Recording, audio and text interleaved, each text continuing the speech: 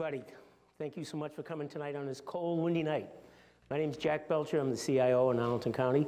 Uh, and this is the seventh issue of this uh, event, Digital Destiny. And the idea behind it is to invite you, the community of Arlington, to come to an event and talk about what the future might look like.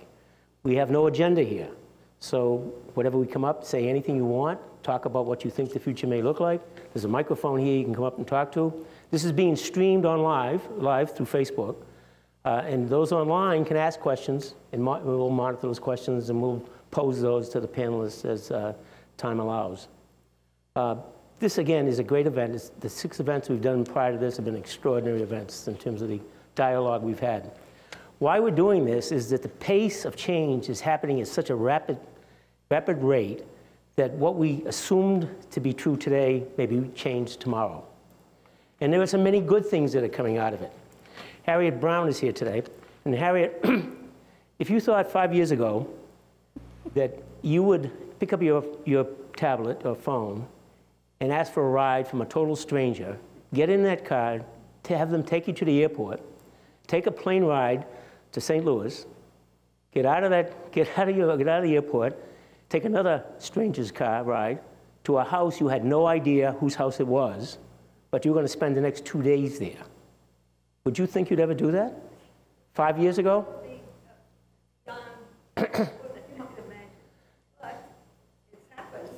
That's Uber. That's Uber, Airbnb. It's changed just about everything we're doing. That's the good side. But there's also not so good side. My wife Nancy's here today with Harriet, and she's sitting there. And Nancy got up the other day and she said, I want to take the dog for a walk. And she called him. The dog's name is Max. And she says, Max, let's go for a walk. I wonder what the weather's going to be like today. And all of a sudden, the voice came out of the background. Hi, this is Alexa. it's supposed to be kind of windy today and kind of cold. Nancy said, Shut up, Alexa. I don't want to hear any more. Alexa said to her, you know, that's not a nice way to talk to me. Nancy walked out of the house and she said, what else does Alexa know about what I'm doing in the house? so the not good side. So in a few minutes, we're going to have that discussion. And we'll talk all about that and what it means. But first, we are so honored. We have the vice chair of the county board here today to talk to us, Christian Dorsey. Thank you, Jack. Thank you, thank you, thank you. All right, beautiful. You know, I'm one of those people I think this is working. I'm one of those people who tends to embrace technology, but you know, when you hear Jack put it in those plain terms, I'm really not sure that I ought to. But one thing I did learn a long time ago is never put Alexa in your bedroom. All right, so make sure that is not a part of your routine. Uh, thank you all for being here tonight, those assembled in person and those who are watching on Facebook Live. It is terrific that you all are here to join in what will promise to be another great discussion on Arlington's digital destiny. Uh, I was fortunate enough to attend a talk earlier in the series on the future of learning, and the insights that we were able to get from the community conversation have definitely shaped my thinking and I think have informed uh, thinking throughout the uh, organization of Arlington County government, of course, our Arlington County schools. And, you know, like Jack said, that conversation didn't result in any 10 point plan that we went out, at, went out and started to execute but it did do the necessary work of really evolving how we think of embracing technological change so that it provides opportunities in the future, ones that we can't fully articulate or comprehend now, but that we as an organization, we as a county and a community will be fully prepared to capitalize on. And I am sure tonight's conversation on uh, shaping a smart and secure future will provide equally valuable insights to us all. Now, you all may know because we brag about it a lot, Arlington has been named the top digital county in the United States for uh, two years in a row. And this is the result of many, many factors, uh, some of which I don't even really understand. But I imagine, I imagine at the core, they have focused on some of the smart innovations that we have deployed in recent years.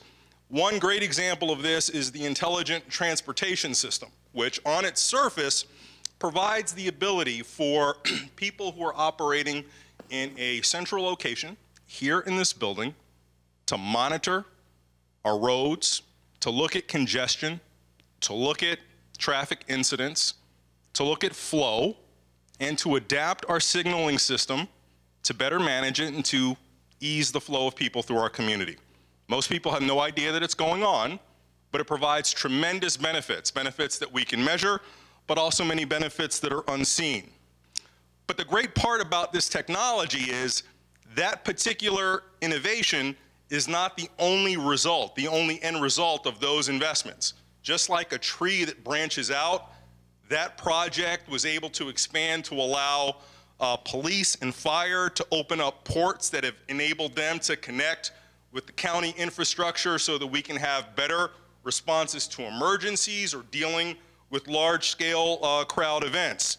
It's also allowed for the completion of Connect Arlington, which is one of our signature initiatives, the dedicated high speed fiber network that links up the county facilities with the schools, providing much greater network reliability, cost efficiencies for Arlington taxpayers, and uh, just tremendous advantage over what was our system of, of working with other providers.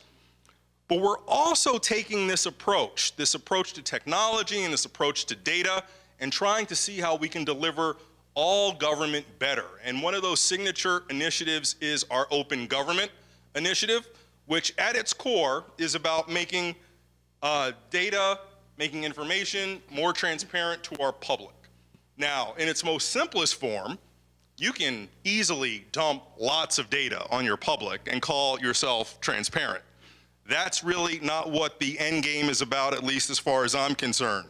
You know, for us, I think we need to work to reach the next level, where we're not just interested in disseminating data sets, but really changing our mindsets and really thinking about how we as a local government recognize that our goal should be to create an active, engaged, and informed citizenry that can in turn help us make the best decisions for everybody's behalf. Now, I, I realize that the nature of a conversation where we don't have the 10 point plan that's going to come out of it, and we're not really sure what's going to be discussed, can sometimes be very daunting for local governments who, by their nature, are very risk averse and necessarily concerned with being good stewards of taxpayer resources.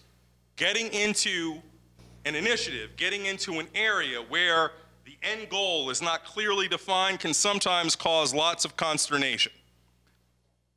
And that leads many local government organizations to sometimes just doing nothing or doing as little as possible, dying by inertia.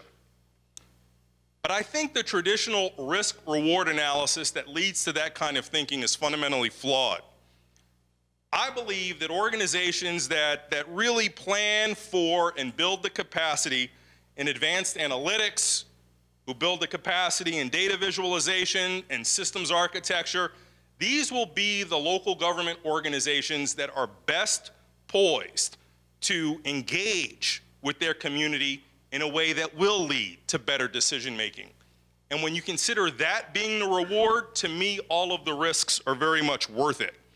Now, I thank you all for participating in this conversation tonight. Again, I don't know the outcome, but I know that it's going to be incredibly illuminating for me as a public policy person, for our staff who is in charge of implementing, and for all of us who will learn from the conversation with each other. So thank you all tonight, and I look forward to joining you in the audience and hearing from this great panel. Thank you all very much. Thank you, Christian. Thank you so much.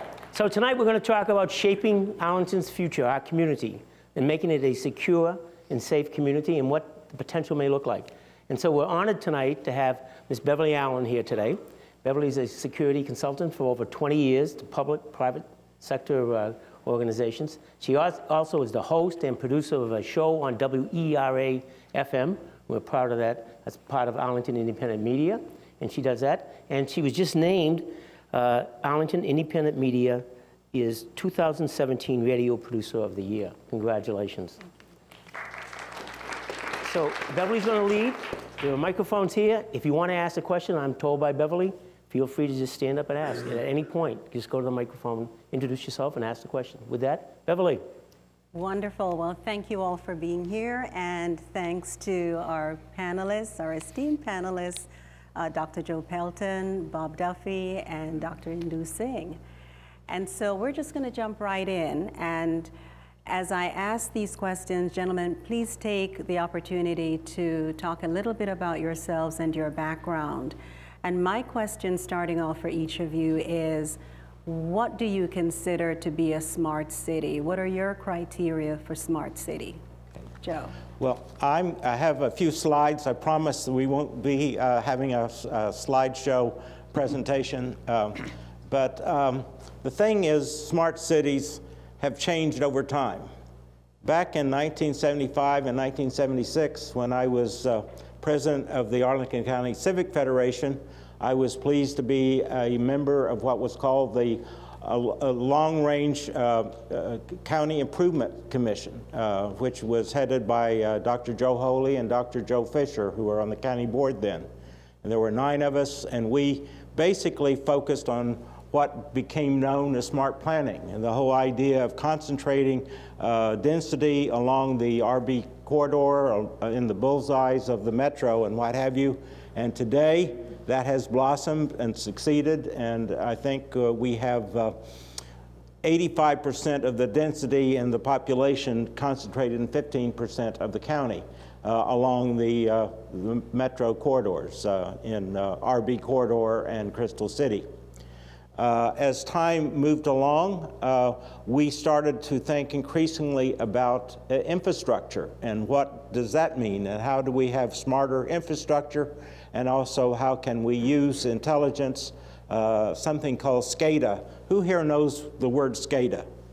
Well, this is a very informed audience. Uh, that stands for Supervisory Control and uh, Data Acquisition.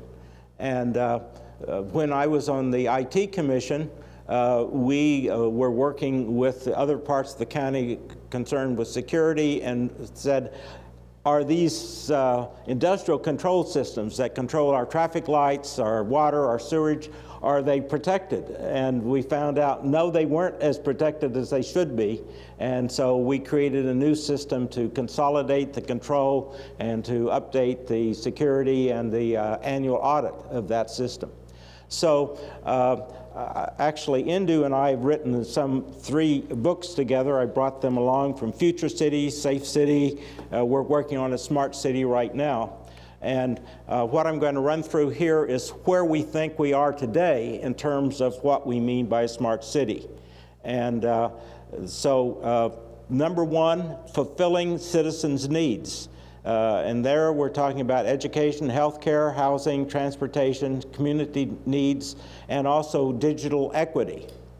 Uh, sustainability. In other words, increasingly, uh, through our AIRE program here in Arlington, we have been focusing on uh, the sustainability of uh, the community and uh, smart energy, what have you. And then jobs and competitiveness, citizen support, and uh, that's very, very important. Uh, I think that Arlington is different. The so-called Arlington Way, which uh, was very much alive uh, back uh, when I was chair of the Civic Federation 35 years ago, and it's still very much today. I see many Civic Federation leaders out there in the audience. Um, and I would just note that also AIM, uh, it plays a vital role. And uh, I'll just put a, little commercial in here. AIM funding is very important. Uh, to, to so uh, the uh, infrastructure and resources. Increasingly, we are going to be talking about, and Bob's going to be talking about this further, about uh, smart transportation, smart utilities, smart infrastructure, uh, but then there's also the issue of technology and AI.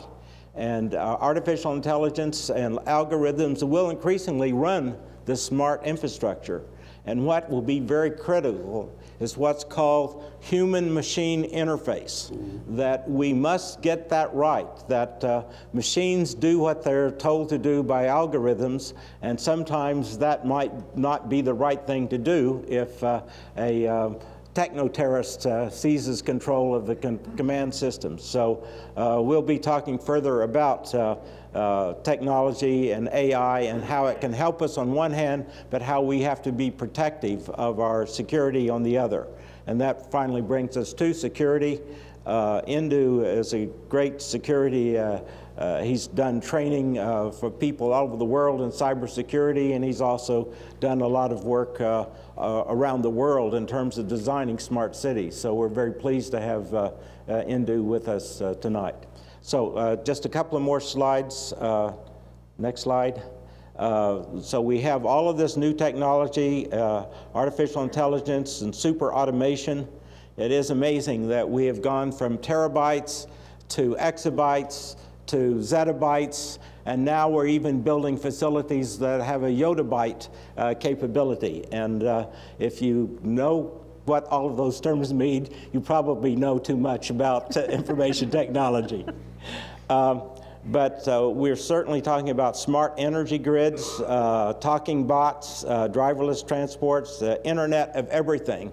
You've heard about the Internet of Things, but uh, there's a projection by one uh, company that's uh, sort of owned by Intel that says that the amount of Internet of Thing traffic will increase by a factor of 30 times the next 20 years. And that, that means that most of the communications that will be flying over the internet will be machine to machine communications. Um, and uh, this leads us to the need for advanced cybersecurity, uh, human-machine interface that I mentioned before, and that's putting humans uh, in the middle of uh, uh, commands of uh, very important intelligent infrastructure to make sure that things don't go violently wrong. And then finally, telecity architecture and virtual companies. And certainly teleservices, that will be a key part of that future. So uh, we have one last thing, and that is the benefits of better planning and growth, less pollution and reduced uh, energy consumption, uh, better infrastructure, less commuting and better transportation systems, reduced traffic accidents, uh, responsive government. But the concerns are uh, cyber attack, uh, techno-terrorism, industrial controls, and the human-machine interface. So with that, I'll turn it over to Bob. John, thank you very much. And a uh, little background about me, if you don't know, over the last six years, I've been serving as Arlington's planning director. And I work many with the Planning Commission, with many of our boards and commissions that have been focused on Arlington's smart growth journey, as we like to call it, which really is a foundation uh, for our smart county and some of the issues and opportunities we're going to talk about tonight. Uh, so what I want to do is give a little history, a little background. This gentleman beside me is, was very involved in the early days of planning and some landmark decisions that were made by our county board and uh, many of the citizen planners. Uh, so I'm going to give us a little background to start with and then talk about several uh, areas that are central to physical planning and the future of smart growth and being a smart county that John touched on. But let look, let's look back to the early 60s and 70s and where were we? And a lot of you know what Arlington County was like during that period, a very different place from what's transpired over the last several decades. We had declining retail corridors. Our employment and office market was very different. Uh, we were not unlike many, United, any, many cities in the United States in terms of dominated by the automobile. We didn't have the same types of mobility that we enjoy today. So we were a very different place. And some, some landmark decisions were made again by citizen planners, the Planning Commission, professional planners, and the county board at the advent of Metro. For example, in the Rosslyn Ballston corridor was shown here, this is a segment of our general land use plan, which is kind of like our constitution, if you will, in terms of establishing policy and a framework to guide growth. And that policy and framework's been recognized nationally many times, but most recently, uh, it was recognized by the American Planning Association uh, for our commitment to smart growth and plan implementation. Uh, but a decision was made in the Rosslyn Ballston corridor uh, in the late 70s to relocate the metro line from the middle of I-66 to the Rosslyn, Ballston, Clarendon, uh, certainly corridor, and that had a major impact and really started us down this smart growth journey that's made a difference and again sets this foundation. And we've achieved a lot during that period. It's staggering when you think about where we've come from over just those 40 some years. And this slide shows where we were in 70 and where we are today in the Rosslyn Ballston quarter in terms of office space, residential, retail, and jobs. It's a tremendous success story, and again, as John indicated, it really set the stage for where we go next. So, as we build on our success in terms of smart growth and beginning, continuing our planning as a smart county, uh, there are four things that we need to think about autonomous mobility, the future of the workplace, and it's transforming right now. Retail, as we move from Main Street to online, on demand, and on time. And most importantly, how we're going to plan with all of you uh, in the future in an engaged and very dynamic way, very different than the planning work that we've done in the past. Now, there are a number of other areas that we could cover here. Martha Moore is here this evening. We were talking about health care. We were talking about uh, certainly affordable housing, which is a major priority for the county. But these are four that I think are central and should figure into our ongoing commitment to being a smart community. We're very fortunate in Arlington as we've held true to our general land use plan that our master transportation plan that Dennis Leach and his staff uh, work on with the Transportation Board has really been very forward thinking and focused on mobility in a very diverse way that many American communities didn't in the 70s or 80s when we were planning for Metro. Walkability, uh, various alternative ways to move about, to reduce congestion, uh, reduce the amount of space devoted toward parking, and certainly roads. But this notion of the future of autonomous vehicles is going to change dramatically in many ways. While it may take time, but at least by 2021, we're going to find that every major automotive uh, and company is introducing some form of semi or autonomous vehicle that's going to be on our roadways. And a number of them are being tested. I've got an example here of the University of Michigan Circulator that's an autonomous vehicle that moves, uh, moves students and faculty from place to place along the, the large uh, metro campus. Arlington continues to be a participant and a very active part of the discussion about autonomous vehicles and what that will mean to communities. There's a document here that the American Planning Association just recently published based on a symposium that was held uh, here in the fall that involved uh, the, uh, again, the American Planning Association, Brookings, uh, Mobility Lab, uh, the uh, George Mason University was very involved with this. We'll provide a link to this, I think, after the program, but it is a major primer, I think, that will tell us a lot about where we need to go in the future. John mentioned the office market, which is changing dramatically from where it was in the 70s and 80s, even the 90s. We all know we went through the Base Relocation Act and sequestration. We have an aging office plant, aging office stock in our communities, uh, and we're going to need to find new solutions to adapt that space. But again, as new office space comes online, it's radically different, and the space is smaller. Uh, it's, it's, it's designed to enable collaboration and innovation in a way that much of previous construction in Arlington uh, really uh, wasn't, hadn't considered. Even this building is going to be part of that revolution. We're about, we're going to be in this building for another 15 years due to renewal of our lease. But through that lease negotiation, we're going to be redesigning the interior of this building so that the services we deliver to all of you build on the digital opportunities that we have and make us work smarter, be innovative, and more collaborative. And you'll hear more about this in the weeks and months ahead. Retail is changing dramatically.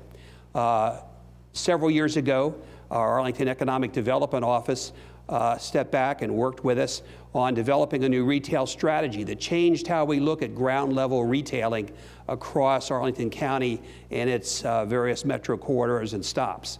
Uh, we all know that grocery stores alone, how they're delivering and serving their customers is changing dramatically. How that will affect Arlington County's grocery store policy.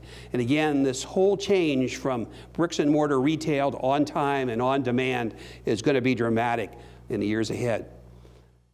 And lastly, I want to talk briefly, and I know we'll talk more about this, is smart planning, which is further engaged and dynamic.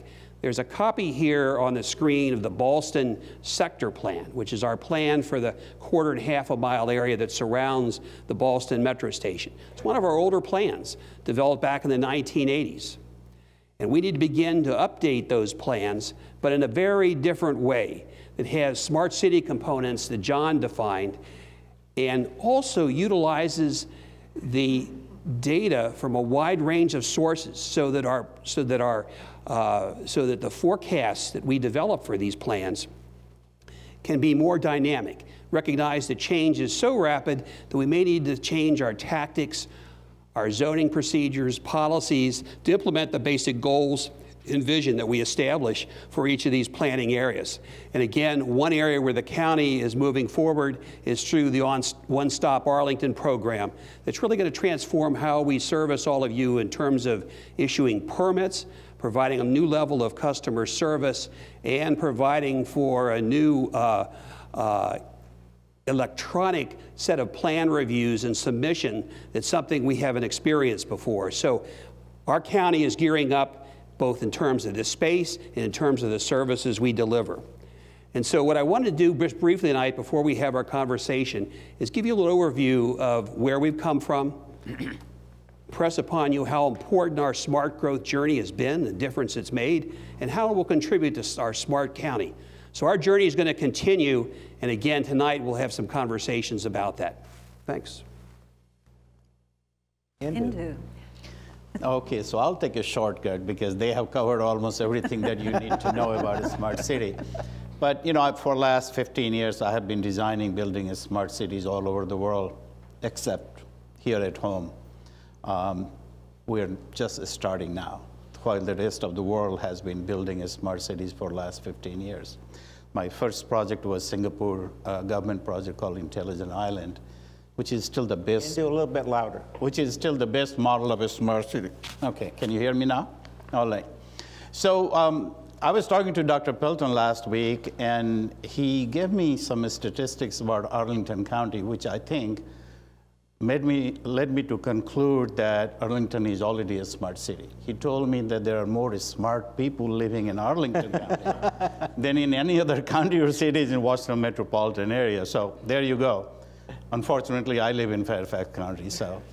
Uh, I, I, think we're talking about move. educational attainment. but, but to me, because somebody who designs and builds a smart city, I have, a, I have simplified the definition because Every city defines a smart city, and every country defines a smart city in its own way. And that's fine, because there are different stages of growth. But a common definition to me when I design is that smart city is an economic development concept, socioeconomic development.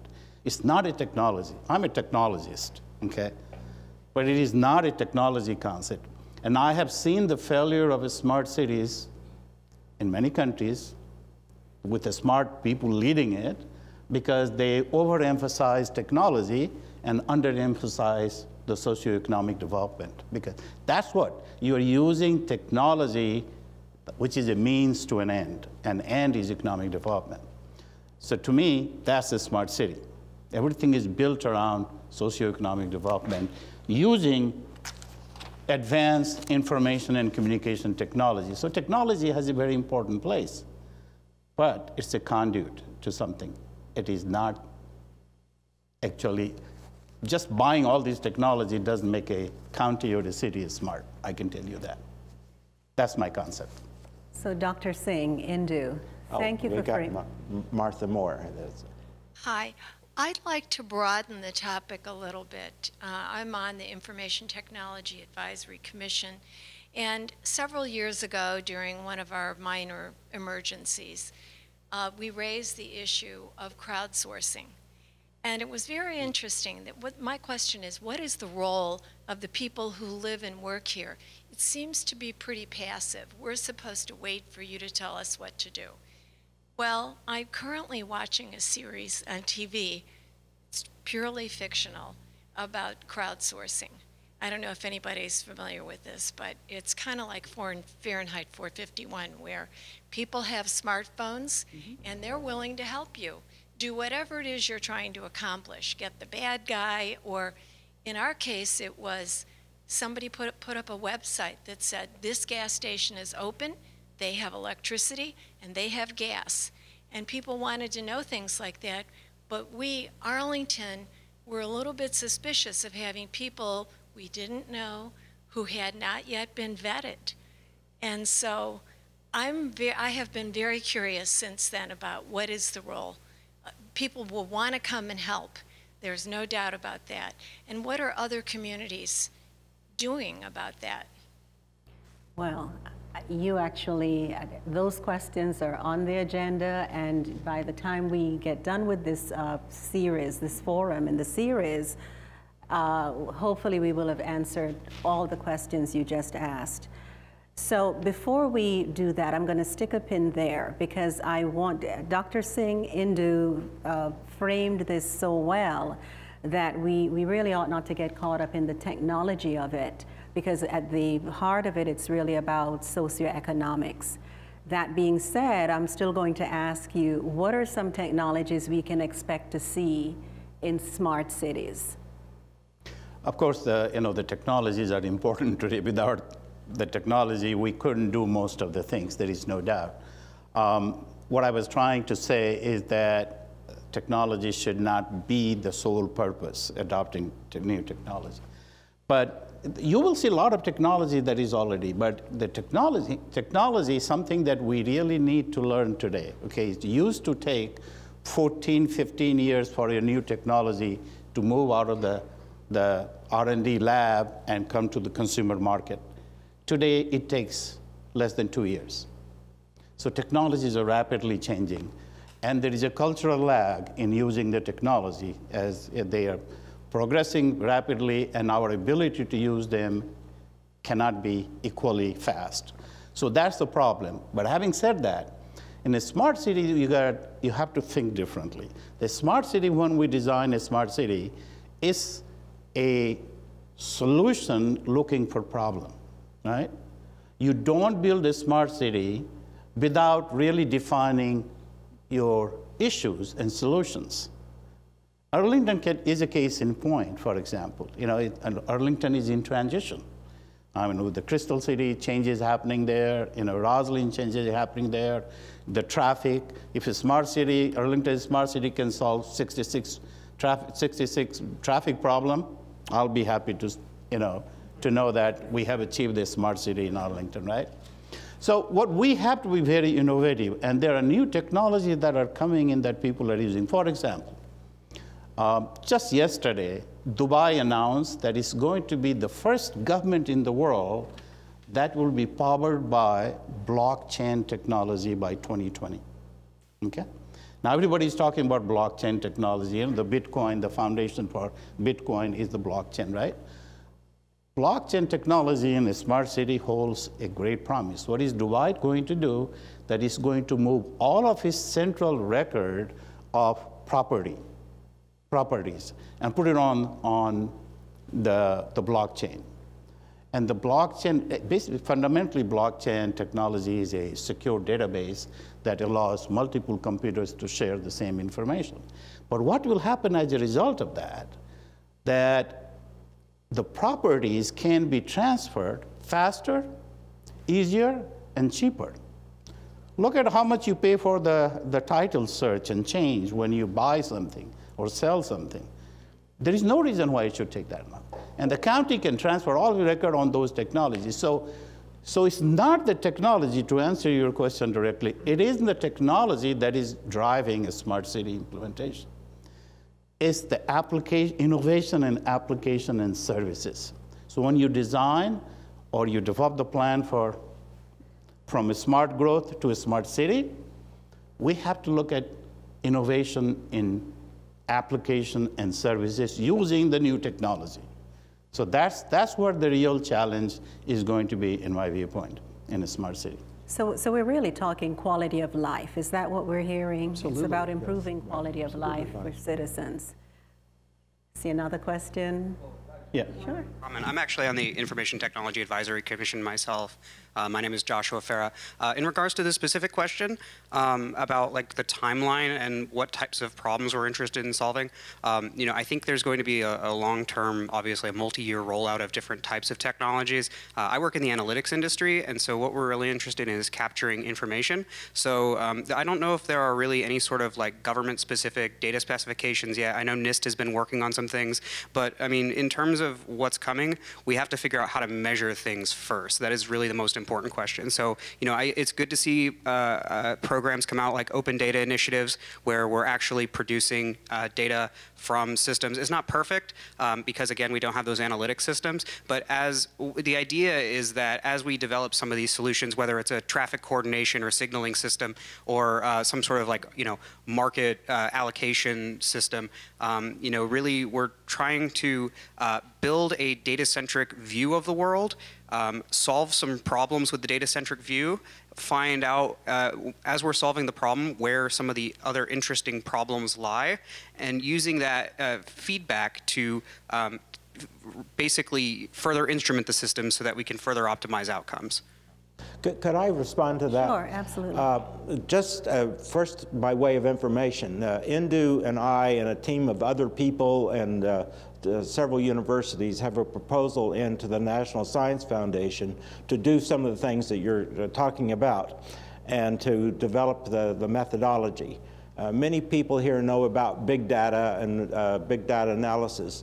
What we're doing is trying to go a step beyond that to what we call causal analysis, to create a model of how a city works and its relationships, and then test big data uh, and run it through very high-speed computers to say, do these relationships uh, affect uh, and what are the best investments that have worked to achieve various objectives uh, in the past so that when the county board uh, looks at its budget, it knows what are the most cost-effective investments uh, for capital and also operating budgets.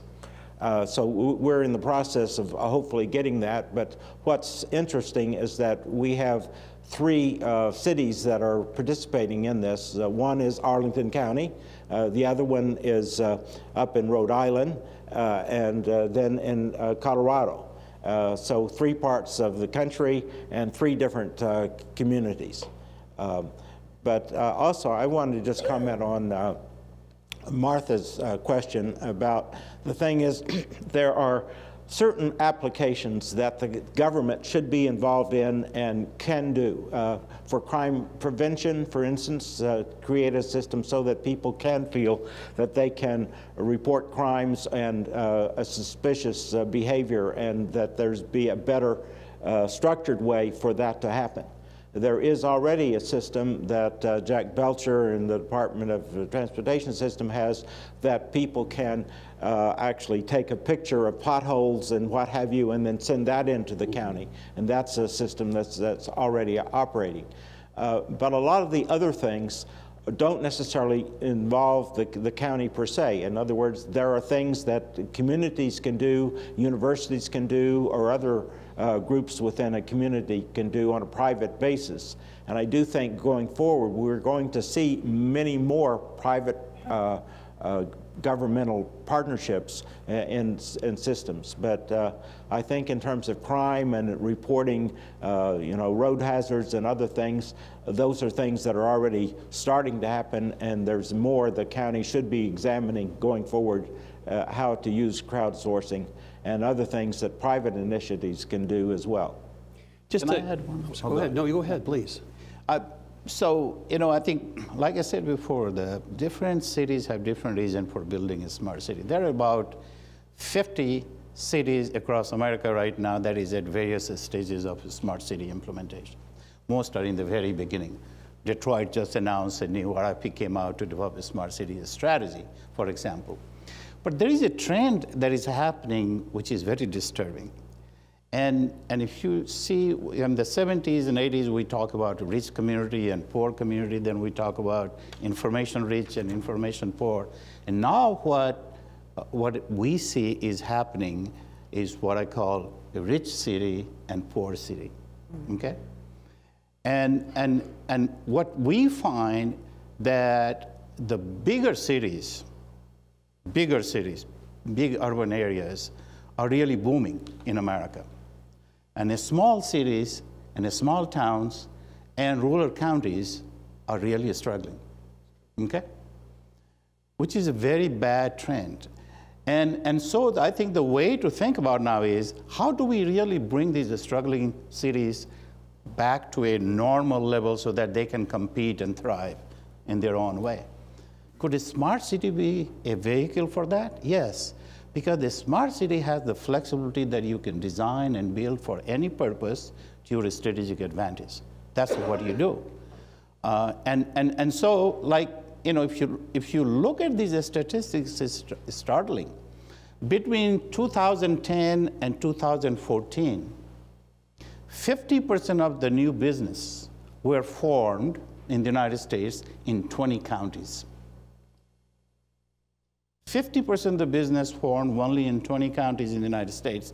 What does that mean to the rest of the counties and the cities? Demographic changes, people are leaving, economy going down, tax base going down, and, and we are not paying attention to those things. But those cities, why is, think about this, why is Detroit all of a sudden wants to be a smart city? There is a reason for that, economic development competitiveness, being able to compete in this world, which is very competitive, right? Either if Arlington doesn't build a smart city, Fairfax will, or Baltimore will. Right. Somebody will. So, so, so let me, this is a good point, and Bob, I'm going to give you a chance to yeah. respond. I see you on the edge of your seat here. But how many in the audience are comfortable with a concept of smart city? And just by show of hands. Okay. Can so, I ask a follow-up question? Uh, you may, How many people but, are comfortable with algorithms guiding their lives? Okay. okay, so perhaps we can answer that question later in the discussion.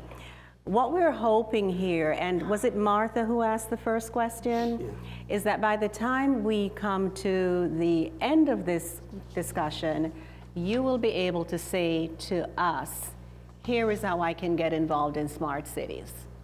How about that? okay. So I am going to ask you, Bob, as the Director of Planning for the county, there are already some smart technologies at work in Arlington County. For the benefit of, of the folks here who, are, who may not know what those are, can you share two or three of those? Well, again, I talked a little bit about, uh, well, let's go back. Let's talk about civic engagement, community engagement, and planning you know, if you turn back the clock and you think about how we approached that uh, a decade or more ago, it was all about public hearings. Uh, and it really wasn't about real time engagement. And today, uh, the community planning work that we do in partnership uh, with, with many of you and in the neighborhoods and business community uh, really involves some new tools and a wide range of tools involving social media, We've used Periscope, if you have an understanding what that. No, we, we, have, we have broadened the array of community engagement uh, networks and, and technology, uh, I think, as fast as, as they're coming forward and being introduced into, into planning, uh, into community planning. So that, that's one area that we're, we're very actively involved with. I want to stress what we're, what we're in the process of doing and what we'll be rolling out uh, by the end of this year related to Arlington County's permitting system. Now, issuance of building permits may sound pretty basic, but when you're doing 64,000 building permits every year that involve from basic home improvements to the construction of hundreds of thousands of mixed use development in Ballston or Rosslyn, uh, it's a big deal. And we're now in the process of working with Accela, uh, and working across departmental lines because there are many of many different agencies, including ours, the Department of Community Planning, Housing Development, Department of Environmental Services, uh, Jack's department, that are all involved in that, that, uh, that permitting process. In 18 to 20 months or less, the, the entryway for that permitting is going to be a digital entry, an application that's online, and the permitting will be online, and all those trips or interaction with various agencies will be all behind the scenes. We are fully going to integrate all of our permitting staff uh, into a pretty seamless structure. So it's some silo busting that's going on, and it's a real transformation that's going to occur. And as I also said, this building is going to be renovated and wired and repositioned to enable those types of transformations to happen. Just a couple of, of areas. Now, with that new permitting uh, system, we're going to be able to track permitting data uh, at a number of scales and be able to link it to our geographic information system, which is our computerized mapping system that's used for a wide range of applications. And we can layer that information up uh, to help us with sound and, and really pretty dynamic planning. So the application of that geographic mapping system, those new sources of data related to permitting, how is, how is a parcel of land changing, will allow us to rethink how we structure a community plan or a plan for a metro station area so that we can have some real-time analysis and be able to upgrade how we approach implementation of those plans, modify policies supporting implementation of plan in a very different way. Those are just some basic tools that we use today. But again, as you've heard tonight, uh, the range of digital tools is expanding and uh, in a dramatic way. I'd just like to add one point. One of the great resources Arlington now has is the uh, Connect Arlington fiber optic network mm -hmm. that connects 100 uh, sites, uh, 50 county and 50 schools. And if someone were to ask me, what is Arlington not doing that it should be doing, is it should be doing more in terms of telemedicine, telehealth, and teleeducation. Uh, we have spent a huge amount of money on building new schools in Arlington County. We have not given enough thought to how we can use that resource for education and health care and services, and that's uh, one area where I would like to see more progress. All right, so I'm going to ask a really basic question for, since we're talking about quality of life being the underpinning for the smart city intelligence community. Uh, who would like to be able to get from here to Tyson's Corner without, you know, or, or from here to Woodbridge without being stuck in traffic or, you know, sitting at a traffic light for two to three minutes when there is no vehicle coming on the other, on opposing sides? Can we talk about the smart in, in that area that would allow me to get to my shopping without being frustrated when I get there? what are some technologies now that we have in place that we don't even know about as Arlingtonians? Other than the flying cars? or the drones delivering yeah. my pizza. Well, well there is one thing yeah. about silos. Bob talked about silos within the county, and there are all sorts of problems with silos. But the other silo is that Arlington is one entity, and there's the, uh, uh, Fairfax County, and there's uh, Alexandria, and what have you. Uh, I've even proposed the idea that we have a centralized 911 center for the entire region, which would be much more cost effective and would also, we have a real problem staffing nine, uh, you know, 724, uh, the facility we have. But uh, that's the other problem is that getting all of these counties to work together. Uh, I think uh, Jack can tell us about the system that now you can, uh, if you're living in Arlington County, but you have a fire uh, and the nearest fire engine is in Fairfax, uh, or you have a crime, uh, it, it, will be dispatched from Fairfax. So we do have that going, but uh, there's a lot more we could be doing in terms of traffic management that doesn't exist yet. Well, you mentioned the, that your initial question was about uh, mobility again and travel. And this whole notion of autonomous mobility and autonomous vehicles that, you know, we're all just scratching the surface with and trying to understand what the opportunities and challenges will be. I mean, all of you have great power in your smartphones and devices to work with Uber and Lyft uh, that you've never had before in some ways to, uh, to achieve a new level of mobility. But once these new vehicles become online and become integrated as a system, not just in Arlington, but regionally, it's going to press, it's going to bring both regional, county, and local planners together to think about how that connectivity of these different types of autonomous mobility are going to, to interact and what the implications will be for our communities. You know, some of the, the great opportunities that they're going to face, it will further address the congestion issue in Arlington, which we have done, I think, an excellent job at in reducing congestion in some of our major thoroughfares through adding layers of new mobility, ensuring those, those types of mobility with Metro are well connected but the opportunity to further reduce congestion through uh, and reduce and increase safety uh, through autonomous travel. Uh, again, the, the future of that is just tremendous. That will mean that probably we can rethink how we use a lot of that parking space on our roads and, and some of those right of ways if we're moving cars more efficiently and they're moving themselves uh, in a very coordinated and inter, inter, interconnected way. Uh, just think of all the space that's in many of our parking garages today that's underutilized and the opportunity to tap that space because we can have a more holistic approach to how these autonomous vehicles may park themselves. Uh, and uh, so the history is, is the, the future is really significant. There are also some challenges, and think about well, these autonomous vehicles will introduce a new level of equity for all of us across the region, particularly in rural and suburban areas, to have new means of mobility to travel to activity centers back and forth.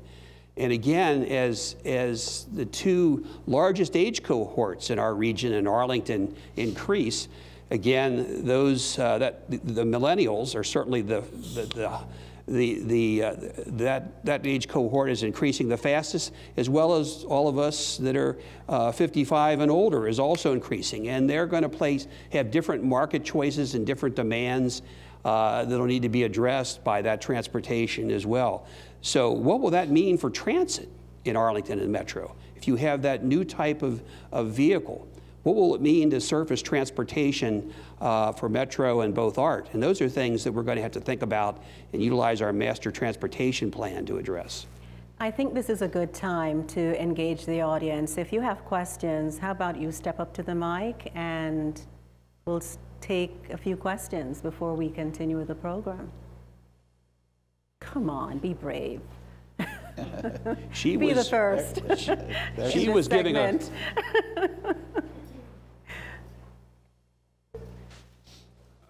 I guess I'm old enough to uh, still like human contact. and I don't know anybody, for example, with an Apple computer who says, gee, I wish they'd close those brick and mortar places in Arlington so I could talk to someone in South Dakota about repairing my computer. Uh, it just seems to me that uh, there's something about looking someone in the eye and having them tell you something that's, that's of value, and maybe technology will get rid of that. Uh, I hope not. But, you know, Amazon, I, I just have a little anecdote of getting a product from Amazon, uh, doing something really stupid with it, telling them this doesn't work. They just said, send it back. And they sent me another one. As soon as I opened it, I realized what I had done wrong. So Amazon's way of dealing with it is basically to say the customer is right, and you know, whatever, and that's not every company you know deals with it that way. Uh, but there's just something frustrating uh, about not being able to talk to somebody. It's really a great issue, and again, urban planners, urban designers, all of us enjoy great public spaces, the ability to be on a sidewalk that's active, that faces retail and restaurants. It's one of the hallmarks of what we've achieved through all this smart growth planning over the years. Uh, I don't think that will ever disappear, but it'll probably change. You mentioned Amazon, and there's a good example where there's probably going to be a hybrid between this on time, online, and on demand with bricks and mortar. Some of you may have read that earlier this week, Amazon opened their first bookstore on M Street in Georgetown, and they're going to open another one in Bethesda. So they're going to have a bricks and mortar present for just what this gentleman indicated uh, a real face to face contact, but also linking on demand. Uh, the, uh, uh there's a retailer uh, down on Wilson Boulevard uh, that its sales, while it has bricks and mortar sales, the number of online sales that they provide their customers is leading the nation. And, and so there's going to be some form of, of hybrid here that we're finally going to get to. And I hope we never replace those face to face interactions and contacts and, and, and opportunities to, to, uh, to discuss as we're having tonight. I'll just note that Herschel, who asked the question, he got a degree in computer sciences before there were departments of computer sciences. So you're partially responsible, Herschel. so that, that's a good point. Could you uh, just say your name when you get ready to ask your question? Thank you. Hi. Uh, Frank Narvaez. So I'm a 38 year resident here in Arlington County.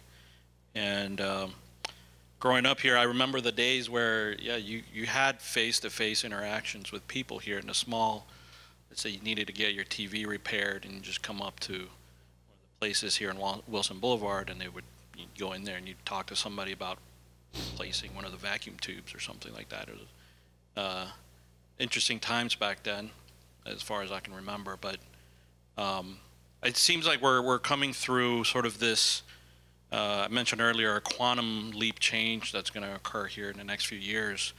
And I want to get your perspectives on uh, infrastructure in terms of uh, how can we prepare ourselves from an infrastructure standpoint, and then also from a um, Internet of Things, and maybe you can elaborate on that, but the Internet of Things uh, in the world, and how can Arlington County use best use those from an analytics perspective to, to really get to what we need uh, for the county and for the residents. Before we answer that question, is everyone here familiar with the concept of Internet of Things? Who isn't, just by a show of hands? Okay, so great. Let's launch in. well, uh, let me start on Internet of Things. Uh, that uh, increasingly almost everything will have some communications uh, capability to report your car, your uh, toaster, your washing machine, or what have you. And uh, there's one study done by uh, Wind River that projected that uh, uh, increase of 30-fold time the amount of communications that uh, would result from the Internet of Things in just the next 20 years. And that means that between uh, RFID. Everyone know that term? In other words, the ability to uh, have sort of a smart inventory and know exactly where all your products are so you don't do uh, uh, audits anymore, inventory control. Uh, that's all automated now.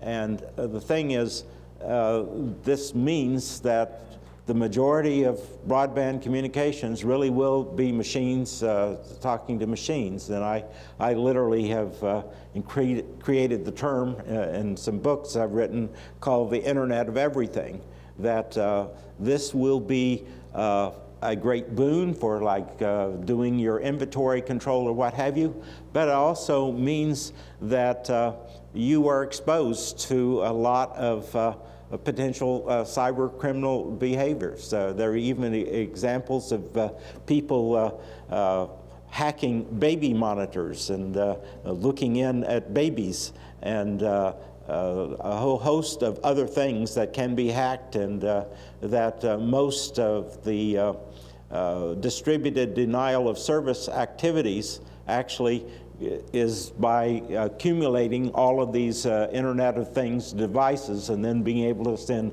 uh, you know, ter terabytes of information at uh, a thing. Now, it is interesting that one of the other aspects of blockchain technology is that also it can defeat uh, uh, the uh, distributed denial of service type of activities. So as almost everything with technology, there's advantages, there's good things again, and there are bad things. That's why uh, I call my promise and pitfalls that we have to be aware of the pitfalls, that uh, uh, there's the pitfall that uh, Herschel's talking about of losing the human dimension and human interaction.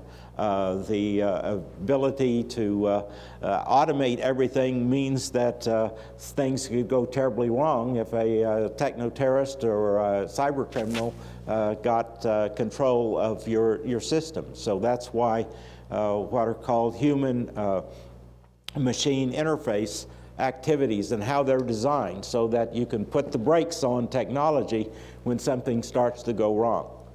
So uh, when we mentioned RFID, a few people shook their heads, which just means radio frequency identification or radio frequency ID.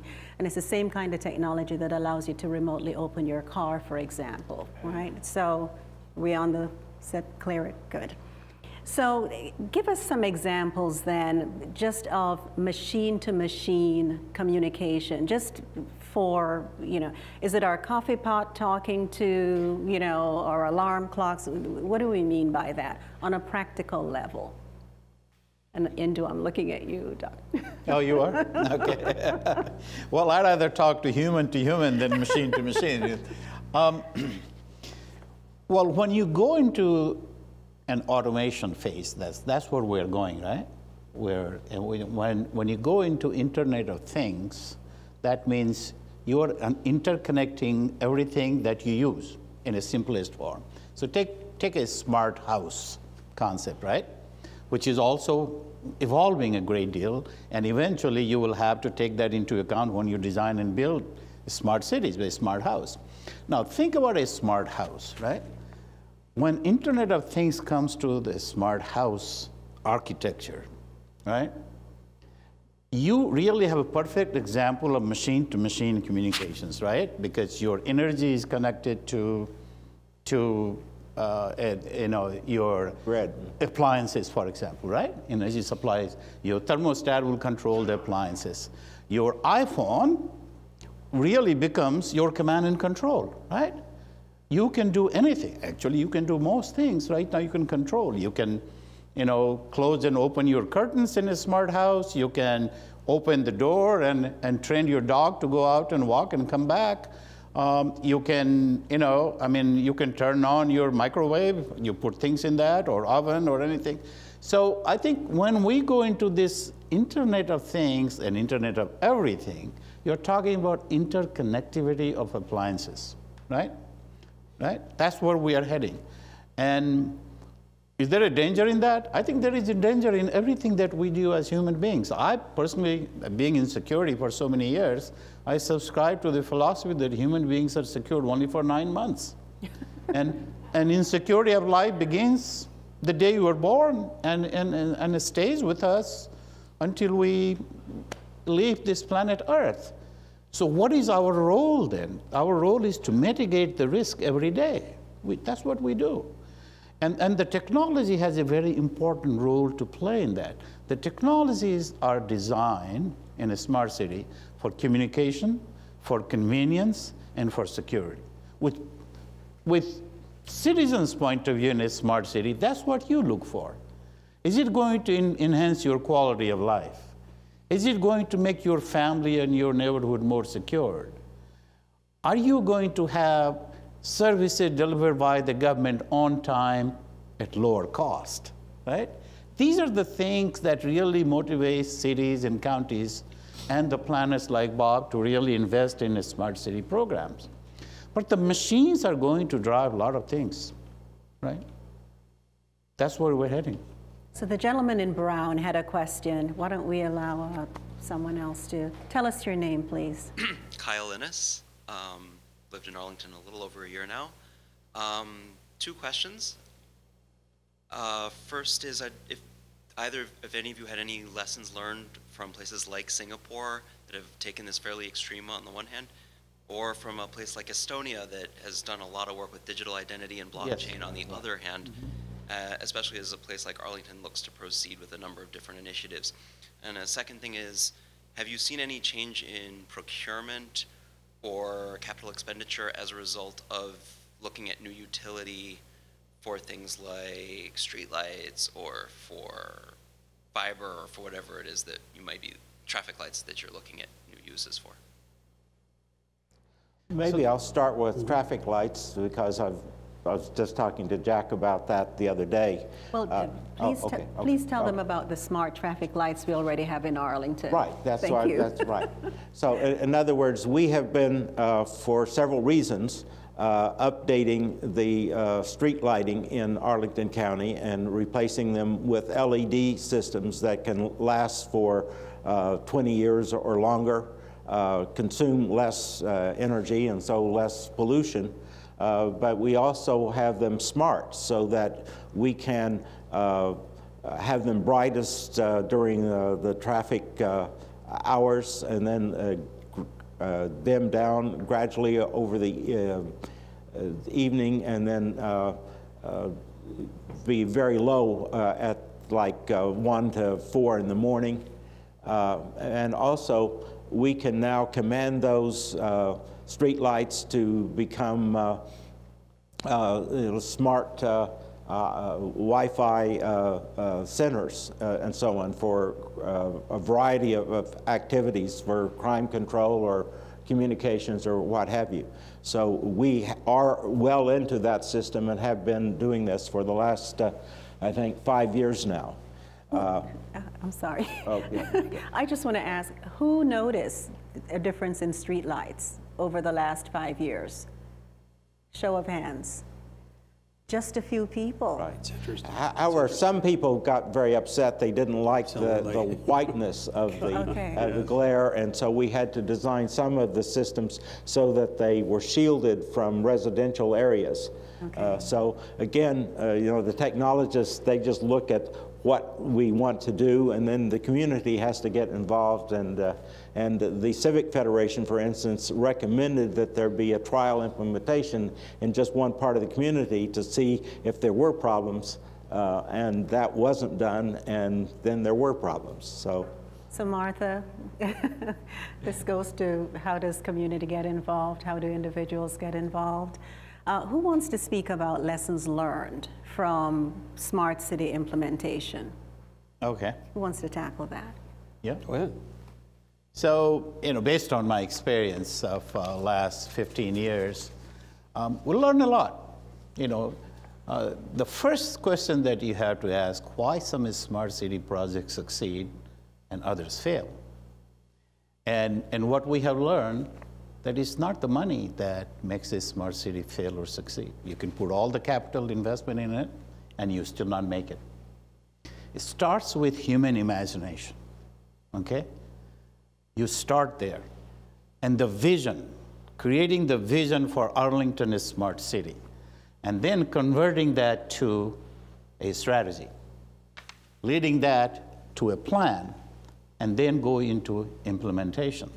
So what we have learned that you create all these things. When I did the Singapore uh, Intelligent Island project, it was implementation, a roadmap and implementation plan was for 15 years. So one, one lesson that we learned that you start small and grow big. A lot of times I have seen, and particularly the, the cities and the city leaders will push toward grand ideas, grand plan, grand program, you know, $100 million. No, that's not where you start. The smart city is based on a long term vision with short term projects. That's a lesson number one. Okay? You start implementing slice by slice, not the whole thing at the same time. The second thing is that from the very beginning is very critical. A critical success factor in smart city is to involving the community. I have seen a smart city fail because the communities were told after the whole planning process has been completed, right? That's a no-no. And I won't name the cities where I work. But I can tell you that wherever we work with the cities now, we involve the community first. This is a good way to start. I mean, the digital destiny is nobody's in America doing, no city that I know other than Arlington. Okay? I have not been to a single forum. I'm, we're involved in a project right now where um, taking a city to the second level of a smart city implementation, right? And the first city, not a single citizen was involved in that. That's, that's not how you succeed. So involving people, lesson number two is involving people is very important. Third is what is happening now in smart city because when you, you know, smart city also means some things will get outdated and there is a cost to that, right? Because investment has been made in that. So what is happening now that the public-private partnership is really driving most of the smart city because people want all the benefits that what they don't want to pay more taxes. Okay? And so the third lesson is that the successful smart cities today is based on public-private partnership. There are places where the private money can come in. Um, there are companies right now that, that invest in a smart city. So they will take over the traffic light, they change, they invest in that X number of years. They have a mechanism to really get return on their investment, and then you own the place. Cities cannot invest in everything. Most cities don't have that much money to really invest. And one of the biggest things that is not happening in our country right now is that federal government is taking no interest, really, to, to really promote and build and design a smart city. Hopefully, hopefully, when we have a trillion dollar infrastructure bill and that passes, that'll be the ideal time to really link a smart city project to that. Because you don't want to just build infrastructure. You want to build intelligent infrastructure that can benefit the community. So those are the things that is happening, I think is going to happen. So if I, I think if I hear you, so one of the things as you said that if we're rebuilding roads, repairing roads, then perhaps that's the time to put sensors in the roads? Absolutely. Absolutely. Okay. Question, sir. Yeah, this, um, Tell us your name, please. uh, my name is Trey Gordner. I've been a resident of Arlington for about 18 months now. Uh, moved up here from South Carolina. Anyhow, uh, my question really dovetails nicely off of the public-private partnerships comment. Uh, I've been watching the coverage of Sidewalk Labs in Toronto Mhm. with great interest, um, Yes. seeing, for, for context, um, a, a Google subsidiary won a contract to redevelop a portion of Toronto uh, completely as sort of a next generation smart city. Uh, my question is, you know, looking at that, especially in, and looking at public-private partnerships and these proprietary systems, how do we ensure that uh, a, a smart city is not a privatized city? Great question. Well, there are two answers to your question. First of all, Google just bought 62 acres in Phoenix and they're building a new smart city. So that's a privatized city. And that's going to happen. And there is nothing wrong with that. Okay? But you have to think about these corporations, they're, they're a center of innovations, right? They develop the technology that are going to be part of a smart city. So if you're Google, you're Microsoft, wouldn't it be smart to buy land, build a smart city, put all of your technology in experiment and showcase? So that's what they're doing. The public-private partnership, and I've been involved in a couple of those for a smart city, cities still can control, even though the money comes from outside, and they should. Because you do not want proprietary technology. You don't want IBM to provide the hardware and software and middleware, everything, and, and design and build your smart city. Then you're stuck with this for eternity. We don't want to do that. Because smart city is an open architecture. And the city and citizens deserve to have the best technology, doesn't matter where it comes from, and at the cheapest cost. And, it- so with the proprietary system, you cannot have that. And the thing is, there's another concern on the other side of the coin. If you read what's happening in China, where they have uh, been uh, buying tens of millions of sensors, and they did an experiment uh, with a reporter where uh, to locate him as a quote uh, criminal, and it took him uh, five minutes walking around to be spotted and uh, on the cameras, and they knew exactly where, where he was. And part of this new system in China is that they're creating a kind of a, a good citizen social index and what have you, and monitoring uh, people's behavior and uh, their uh, interventions online and what have you. And uh, it does seem and sound a lot like Big Brother. So uh, uh, having the government in control versus private in control, uh, it depends on what form of government you have. And uh, uh, I think we should appreciate uh, democracy, but that's just a, a, side comment.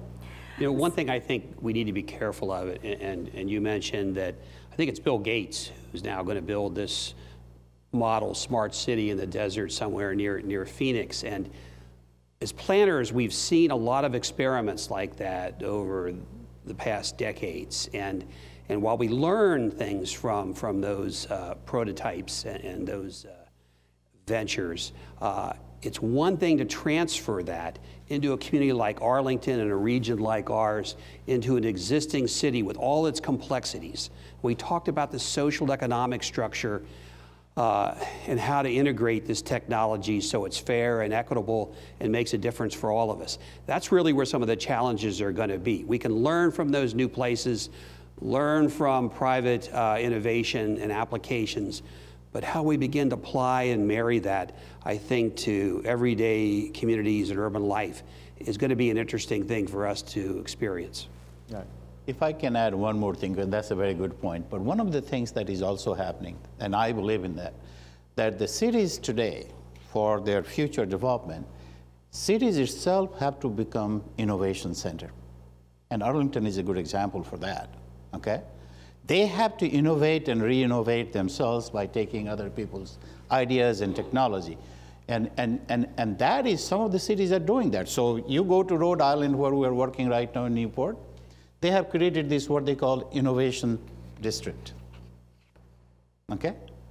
And, and that's basically the 62 acres waterfront property that is going to be a campus environment designed to attract new businesses to come in, like the, you know, quantum computing is coming and others, to really, now look at this, a, a city of 24,000 population, is, is one of the small, smallest cities in America, can think that big?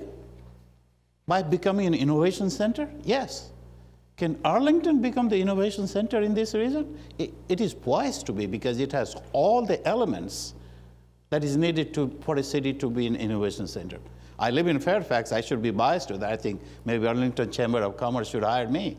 but I think it's a very fitting in Arlington for a lot of reasons that you already know.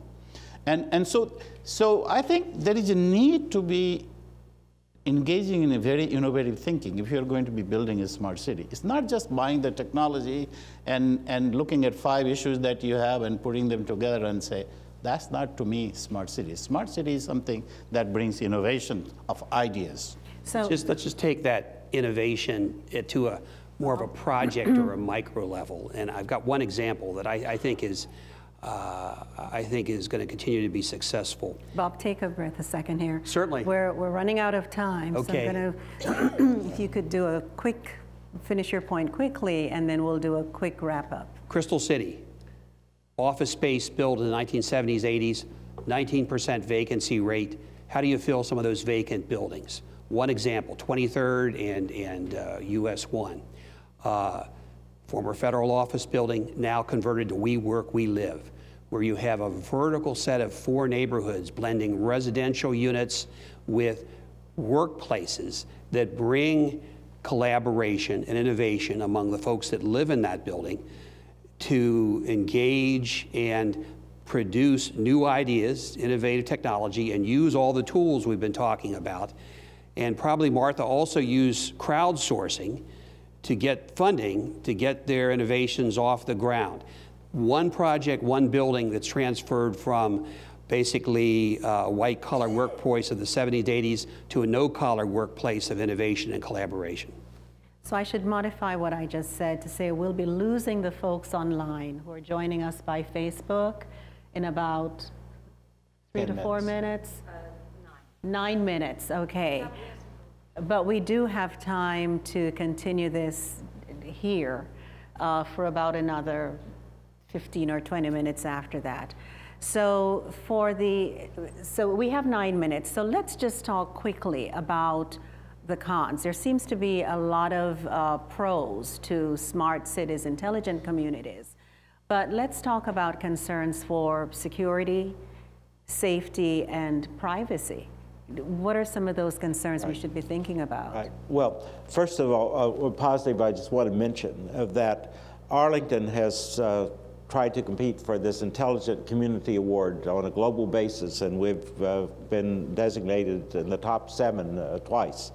Uh, but that is a wonderful resource that uh, in New York City, there's this uh, Intelligent Community Forum, and they have the best practices of over 300 communities around the world, including the ones designated as the best in the world, and what they've done positive and well, and also lessons learned and, and bad things.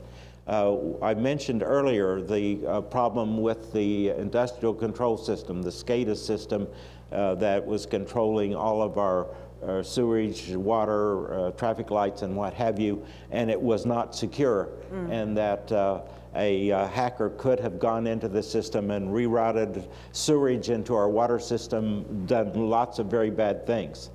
Um, so there, there are things that we are trying to do to uh, maintain our community better, and that uh, the protection of the SCADA system is a key thing.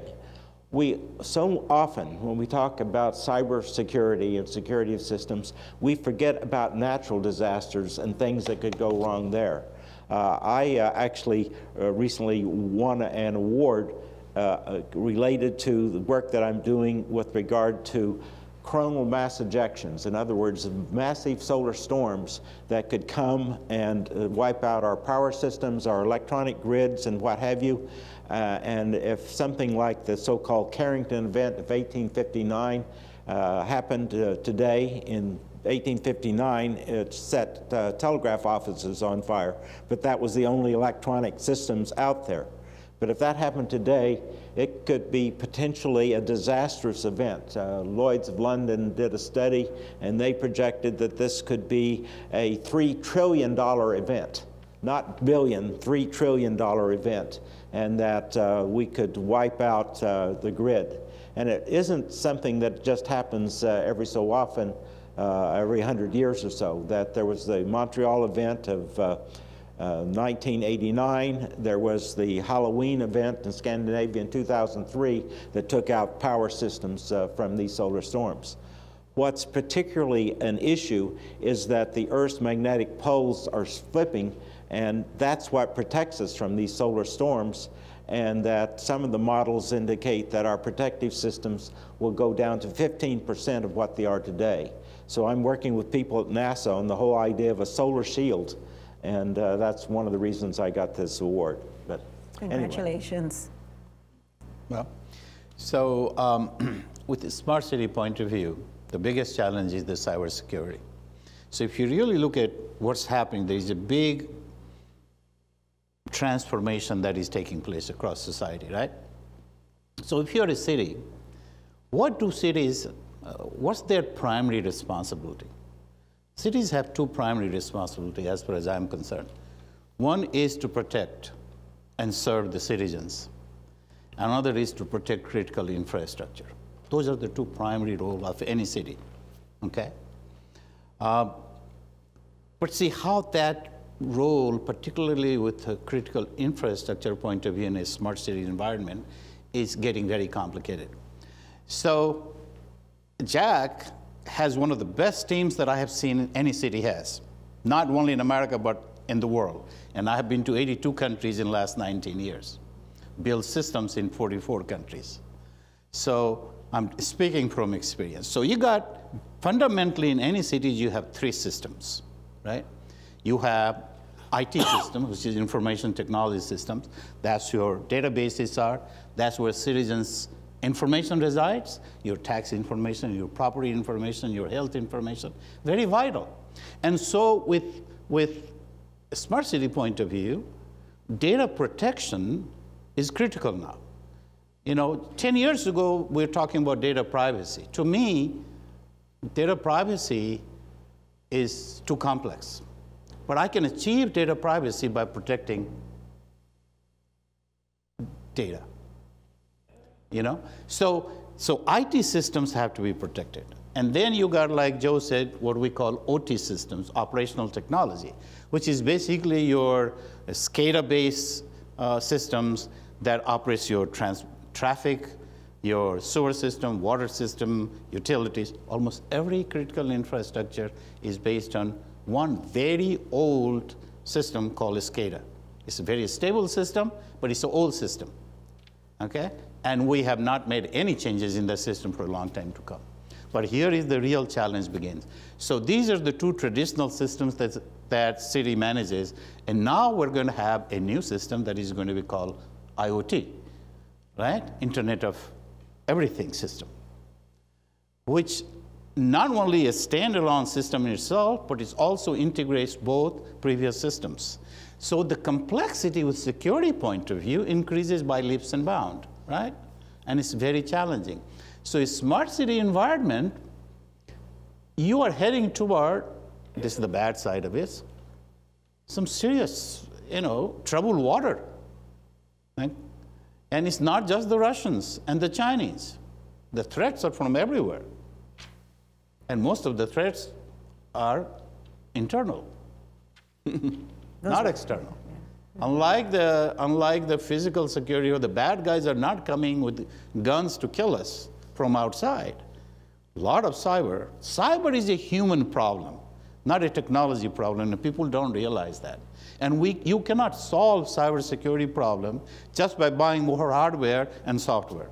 I have seen that doesn't happen. And a total solution for cyber, in my viewpoint, is at least 20 to 25 years away. So we just have to manage it. We still are going to build a smart city, but we have to manage it. But you can see the complexity, how it increases once you go into this interconnected world with Internet of Things, driving everything, and, and with cyber point of view, you have seen nothing. The worst is yet to come. That's the bad side of it. Now, the, the hopeful note here, just so we don't uh, have the folks online leave us on that dire note, is that we all have a role to play. And so that's where we as individuals can be proactive. Would you all agree with that? Yes. Absolutely. That's why the Civic Federation, the Committee 100, which is also meeting tonight, uh, uh, also Arlington Community for a Clean Environment is meeting across the street. We have more institutions, more commissions, schools, and county than any community I know per capita. It's like we're all Unitarians. Uh, but uh, the, uh, the, the point is that that is what makes Arlington unique and different and I think a great place to live is that network. And I think sometimes we take that for granted that what we call the Arlington Way uh, is, is what it is. But I couldn't agree more that how we continue to engage, expand, and focus that engagement in very strategic ways is going to be uh, central to uh, how we plan for and how we implement our smart county. So one of the questions that Beverly put for us is, how would Arlington look like in 2050, right? Exactly, the art of the possible. So I have created a Arlington 2050 model for you, okay? And if I have time, you do have I'd time. like to we'll, share we'll just bid goodbye to the folks online. And Jack, you have a question as well. So are there any questions from online audience? Okay. Okay, okay. So this good. is a living on a good note, not a bad note, because you told me that. So this is how I think Arlington will look like in 2050, and you should be proud of it. So the Arlington will be a leading smart city and a national model that others will follow. Okay? It will have a smart school, a smart hospital and clinics, smart airport, a smart transportation, and a well-connected smart community. Now, Arlington is blessed. You have airport, you have universities, you have hospital, you have everything.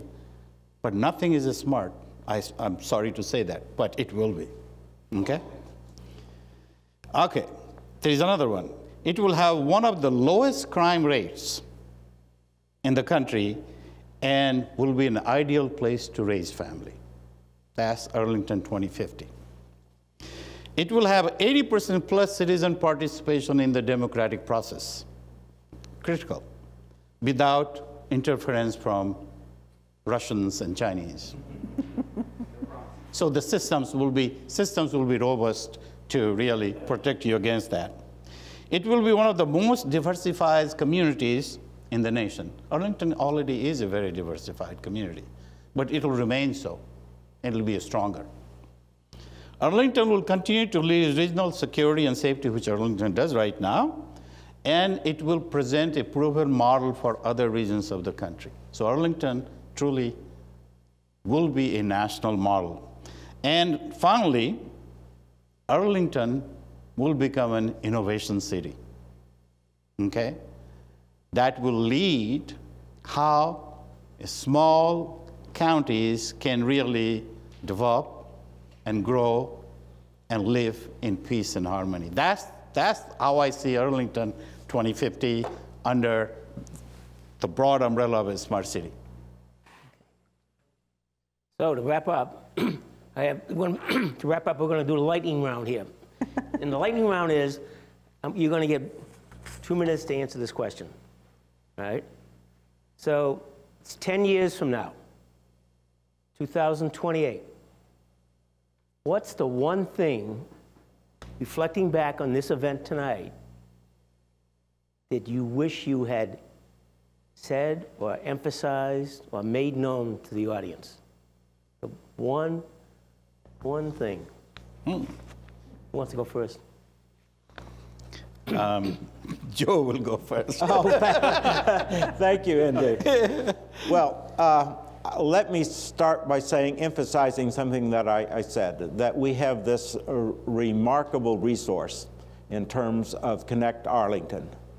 Uh, but it uh, has not reached the potential that it should have gotten. Uh, on one hand, uh, it can be a resource to the business community uh, and to the government to provide illuminating the dark fiber for uh, private use. Uh, even uh, Verizon could uh, use that resource more effectively, and we have not done enough in that regard. Uh, the, um, we have a world-class uh, series of hospitals here, but they have not really looked into and used that resource for telemedicine and telehealth. And I know I've worked uh, in projects uh, around the world, uh, from Scandinavia, the Caribbean, and Africa in terms of telehealth uh, applications, uh, just for training in addition to uh, providing medical services. There's a great potential there that we have not realized. And then finally, the school system. I think the school system has done a great job in terms of providing excellent schools for Arlington, but that they have not really uh, got the message about how much can be done to uh, let our high school students get college credit and take uh, four credit uh, courses uh, for, uh, from using the resources we have here across the county for education. and for training of teachers and many other applications that could be in the educational field. So I think that uh, we have been fortunate to get this uh, grant from the U.S. Uh, Department of Transportation to put in this smart system. And uh, uh, we are one of the few communities that has this type of uh, really broadband power, and we have not yet put it to its full use and application. Jack, I'm going to talk about two things very quickly. And one, we didn't talk about housing. And uh, we, I talked about the workplace of the future, retailing, autonomous vehicles, and so on. But I didn't talk about housing for a number of reasons. And this county has been committed to ensuring, and we talked about diversity a lot tonight, ensuring we have a diverse population. To do that, we need to continue to stay on point in advancing opportunities for affordable housing, not just for low and moderate income, those households at 60 or 80 percent of, of the area median income, but those that make up the missing middle, those at 100 or 120 percent of AMI. That is where we're really challenged. And the county board has established an affordable housing master plan and a set of implementation strategies that we're implementing, and we're working in partnerships there as well with not-for-profit and for-profit housing providers to try to meet our goal of preserving hundreds of units, creating hundreds of units for housing a year. We're going to have to continue to look for alternative ways, maybe even crowdsourcing, to find ways to fund and support affordable housing in Arlington. Lastly, uh, we talked about this building and its transition into really a smart place to work, innovative place to work. You can't do that without great people, a great workforce. Uh, and we're very fortunate in Arlington, you're very fortunate in Arlington that, that your staff, uh, the men and women who, who are committed to delivering services, uh, to supporting every aspect of life in Arlington, are some of the best in the country. I've worked across the country in planning in a number of, of, areas, and this workforce is one of the strongest. And I have to have a shout out for our planning staff.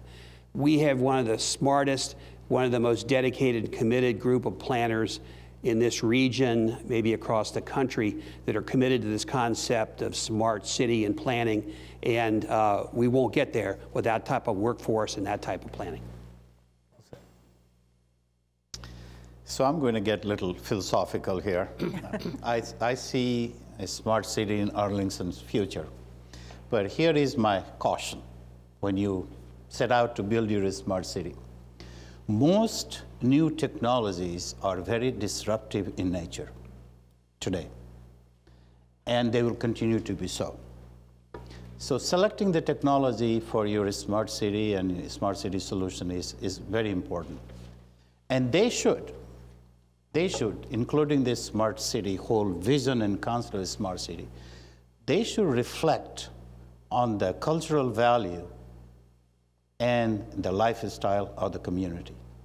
Don't get carried away, carried away because the technologies are very seductive. I've been in this business a long time. and they can force you to do things that you do not necessarily want to. And that's where the smartness comes in planning, okay? So protecting cultural values of the community and the lifestyle is very important as you modernize yourself through a smart city. Beverly, how about uh, you? Oh, okay, I, I, get to answer this. So I, I think I'm going to weigh in a bit philosophical as well. And, uh, you know, my feeling is that smart technology or technology in general really amplifies who we are as a society. And if we're going to survive on, on this rock that's kind of hurtling through space and time, we really have to take care of each other. We have to do that. And so as we build advanced technologies, we really have to make sure that they're consistent with our core compassionate values. We have to have compassionate core values. Because it doesn't really matter, you know, if you're, we talked a lot about artificial intelligence and we talked about advanced technologies that will limit or eliminate humans in the loop. But as we build these technologies and we stay consistent to those values, then I think we'll find that uh, we, our humanity, the technology will then uh, showcase our, our humanity. It will amplify those core values. I think we have to pay attention to that. Well, we want to thank Beverly, Joe. Thank you so much, Bob. You. And the audience, the, audience. the audience. Thank you so much for tonight. I want to thank my staff who have been here, Holly Artel, and all the work that she's done with this to make this happen tonight. June the 6th, we're going to have a next event. It's going to be on the future of work and along the lines of what we just talked about here. If you look at our educational system right now, our colleges and universities, we're producing kids that are coming out and they have debts that we didn't have when we went to college. And it'll take them 10 to 12 years to work those debts down. They say 50 57% of the occupations that we know of today are going to be disrupted in the next five years. Automation's taking place everywhere. What are we going to do? How do we get, how do we make sure we have the right skill sets to be able to work in the workforce? The majority of kids graduating from college look back and say, it wasn't worth the time I spent in four years of getting a degree. We, the whole mindset we have is you learn to work. You go to school to find a job. And maybe we're turning that paradigm around, turning the sock inside out. Maybe it's about learning to work. So we're going to talk about that on June the 6th. It's going to be at, the Arlington Central Library. Again, thank you all for coming out on this cold and windy night. Thank you. Well, thanks. Good program. Great program. Great. Good to meet you. Thank you so much. Thank you.